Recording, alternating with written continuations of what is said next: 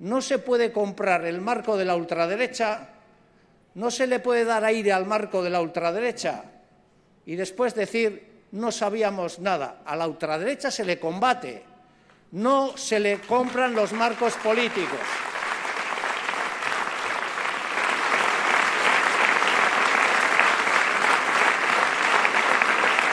Porque comprarle el marco a la ultraderecha es una gravísima irresponsabilidad. Lo decimos sin elevar el tono.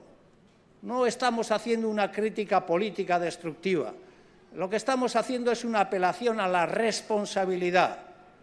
Y el que no sea capaz de mantener un debate a la altura de las circunstancias, a la altura de las necesidades del país, un debate que tenga raíces profundas y que tenga bases sólidas y al que además le añade la irresponsabilidad que se deje todo eso en casa antes de entrar a discutir delante del pueblo vasco cualquier debate y propuesta política. Que se los dejen en casa.